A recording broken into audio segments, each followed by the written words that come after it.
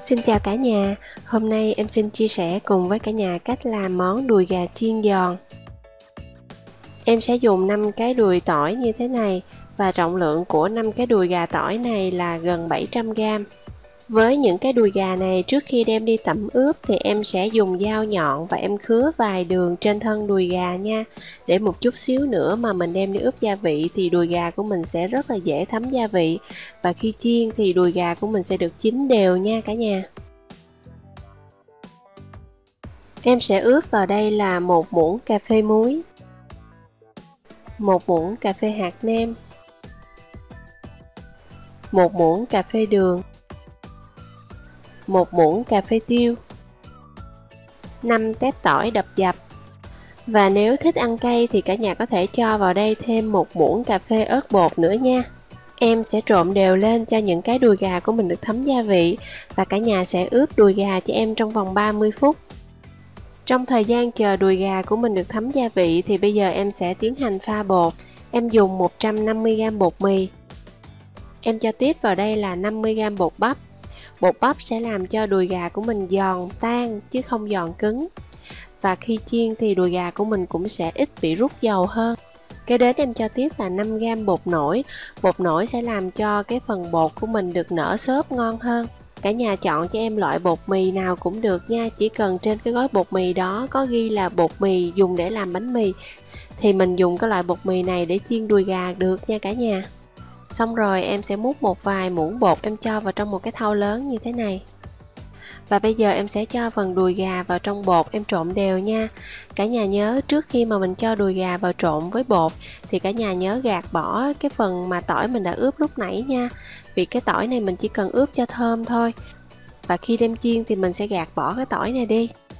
Rồi em sẽ tiếp tục cho phần bột khô vào đây và mình sẽ xóc đều cho đùi gà của mình được thấm bột.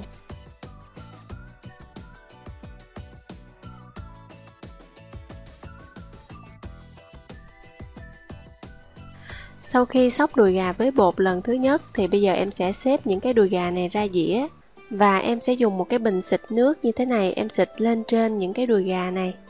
Cả nhà xịt đều khắp cả cái đùi gà luôn nha. Và bây giờ em sẽ cho đùi gà trở lại vào trong thau bột Em tiếp tục cho thêm phần bột khô mà mình đã trộn lúc nãy đó Em cho vào và em lắc đều những cái đùi gà trong bột lần thứ hai nếu mà cả nhà thích ăn cái lượng bột của mình bám bên ngoài dày hơn thì cả nhà cứ làm tuần tự như thế nha. Mình cứ lắc một lớp bột rồi sau đó mình đem ra mình phun lên một lớp nước rồi mình lại cho bột vào mình lắc một lần nữa. À, tùy vào ý thích của cả nhà. Nếu mình thích ăn bột dày bột mỏng như thế nào thì mình có thể điều chỉnh nha. Mình à, trộn bột lắc bột nhiều lần như thế thì lượng bột của mình sẽ áo dày. Kế đến cả nhà sẽ chuẩn bị cho em một chảo dầu thật là nóng, thật là sôi và dầu của mình cũng phải thật là nhiều nha vì đối với món đùi gà chiên này là mình phải chiên ngập dầu.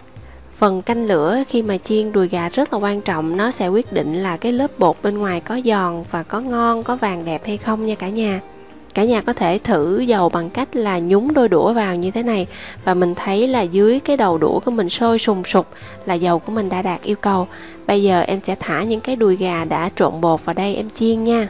Sau khi thả đùi gà vào thì khoảng tầm 30 giây thôi là cái lớp bột bên ngoài sẽ xe cứng lại.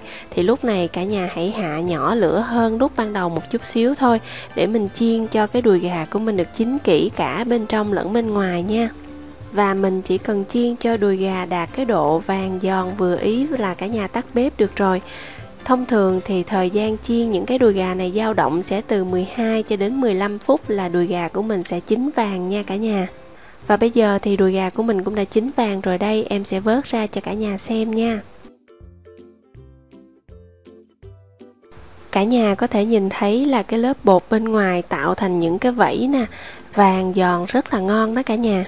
Và để ăn đùi gà chiên thì không thể nào thiếu là tương ớt tương cà. Đây là tương ớt tương cà mà ở video gần nhất em đã có chia sẻ với cả nhà cách làm rồi đó. Cả nhà có thể vào kênh Ghiền Nấu Ăn để tham khảo thêm dùm em nha. Em sẽ bóc một cái đùi gà ra cho cả nhà xem ha.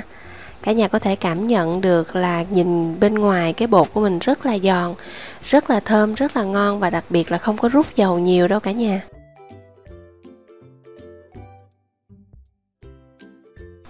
Và phần thịt bên trong là vẫn mềm ngon chứ không hề bị khô và quan trọng hơn nữa là những cái phần thịt này đều được chín kỹ nha cả nhà do là ban đầu mình đã có khứa thịt đó, cho nên là khi chiên như thế này thì phần đùi gà mặc dù rất là dày, rất là to nhưng mà vẫn được chín rất là kỹ Em mến chúc cho cả nhà làm món đùi gà chiên giòn thành công.